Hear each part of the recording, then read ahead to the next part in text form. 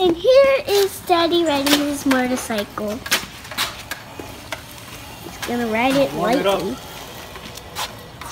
And here he is on his motorcycle.